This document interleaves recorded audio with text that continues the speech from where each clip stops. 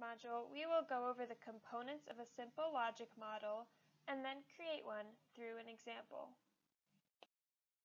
As shown in the diagram above, your logic model includes a statement of your program mission and is rooted in the conditions of the environment, problems, or needs in the community, and a theory for how you will be addressing them. The components of your logic model include inputs, activities, outputs, and outcomes. We also prefer to include measures or indicators to evaluate progress towards the program's goals.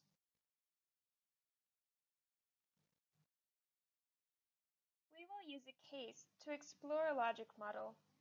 Suppose you are working in a clinic that provides classes to prepare new moms for a healthy pregnancy and birth. Your organization finds the rate of babies with birth defects is higher in the city than the national average and so is the amount of smoking among mothers during pregnancy. You decide to improve the program you have to address maternal behaviors that are associated with birth defects. Use the following steps of creating a logic model and consider what your organization might do to reduce birth defects. You may find it helpful to have a sheet of paper to draw your logic model and add components as we go through this example. We start our logic model in the input section. These are the resources we invest in the program such as staff, volunteers, time, money, materials, and equipment. In your model, consider what are some of the resources your clinic might use to address birth defects among the pregnant mothers that you serve.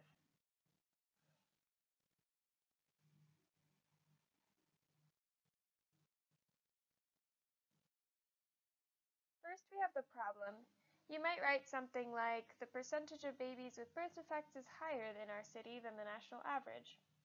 Or looking at the data, you might find that 58% of women are smoking or drinking during pregnancy.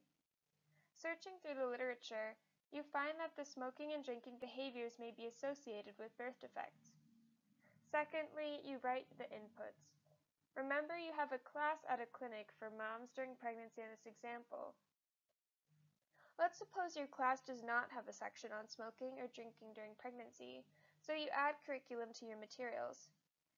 You provide new training to your staff, account for the extra hours of labor, and potential materials such as boxes of folic acid to decrease the risk of birth defects.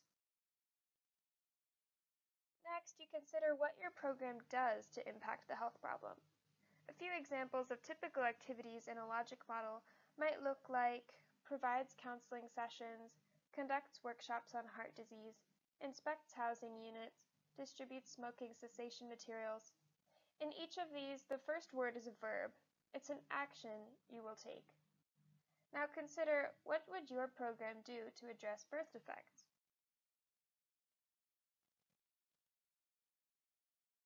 So thinking about the different levels of the ecological model, let's add activities.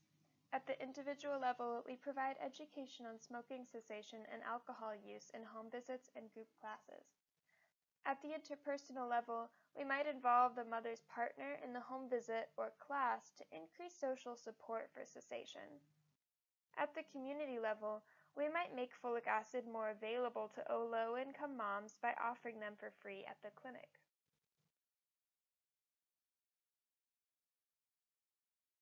Output section, we include the measures of what the program does and whom the program reaches, such as the number of counseling sessions, the number of patients served, and the number of home visits.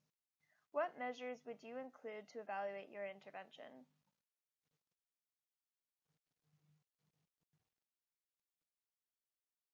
Here are a few examples. The number of folic acid boxes, home visits, mothers receiving visits, the duration of the visit, and others are possible ways to measure the execution of your program. Outcomes are the last section. We can break up outcomes into short-term, mid-term, and long-term outcomes. These should demonstrate the program's theory of change and include each level of the ecological model you are targeting, such as desired individual, family, or community changes. The outcomes should be measurable, Short-term goals often include changes in learning, such as individuals' knowledge, attitudes, and skills. Midterm outcomes are more likely to be changes in action or behavior. They may include policy or practice changes. The long-term outcomes are often the most difficult to measure. These are most likely to be changes in conditions of the environment, mortality or morbidity, and quality of life.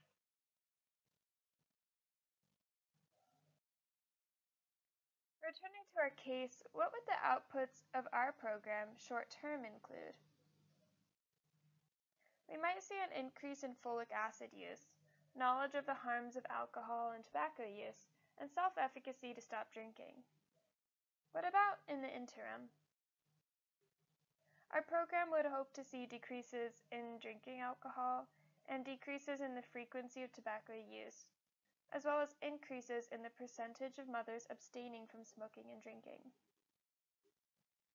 The long-term impact the program desires to make is a decrease in the overall percentage of birth defects seen in the clinic.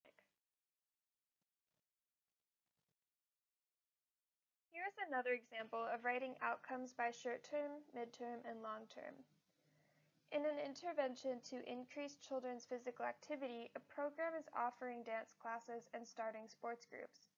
They wish to check their program by measuring the number of kids served, the number of dance classes offered, and the number of sports groups. In their outcomes, they may have a short-term goal of changing attitudes. Kids will learn fun physical activities and decide to track the percentage of kids who like dance or sports. In midterm outcomes, they hope to see a change in behavior. Kids will spend more time being physically active. To track this, they would track the number of minutes kids spend on physical activities after involvement in their program compared to baseline measures. In long-term outcomes, the program wants to see a change in the health of the children. The kids will be more physically fit. They measure this by comparing the body mass index, or BMI, from starting the program to ending it, and also conducting a fitness test. Logic models do not always have these measures in the outcome section, but you may find them helpful to include, depending on your audience. As many of you know, program outcomes should be realistically achievable through the program activities. The program team may decide to revise these outcomes as the program goes and evolve their goals as they add or change components to the program. Outcomes should be determined by the project team and stakeholders to set the outcomes that are appropriate for the project. A good set of outcomes is easily understood by all the stakeholders. Good outcomes can be a point of rallying a team around a common goal and reminding staff the importance of their work. This concludes our video on how to create a logic model. Thanks for watching.